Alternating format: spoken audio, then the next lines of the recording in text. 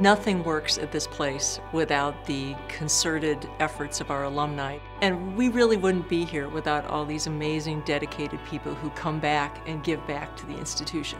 So tonight is our night to look at all these amazing careers that we've generated out of the college and say bravo. I'd like to tell people that I have the best racket on earth.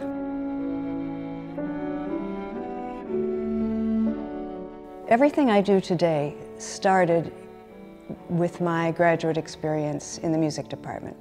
When I received the letter about being given the Dean's Award, I didn't believe it. I'm very honored that UB thought to give me this.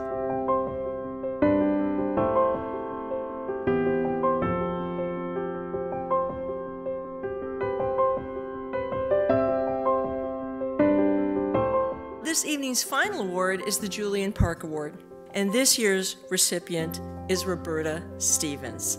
At the Library of Congress, she held high level positions that involved working with individuals at the highest levels of government, and her commitment to UB is enduring.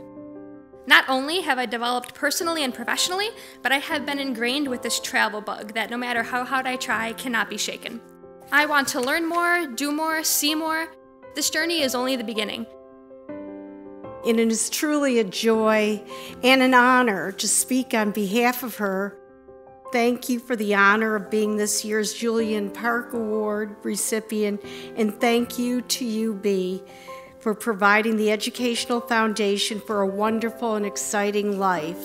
I want to thank all of you who are here who are our donors. The scholarships and research opportunities provided by alumni and friends enable the college to attract the most qualified and talented students to UB.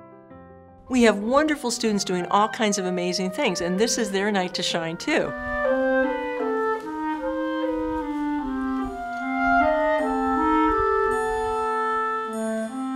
Right now, more than ever, we need the support of every single individual who's been at this institution, who loves this institution, and wants to give back to this institution. Philanthropy is absolutely critical to the college's future.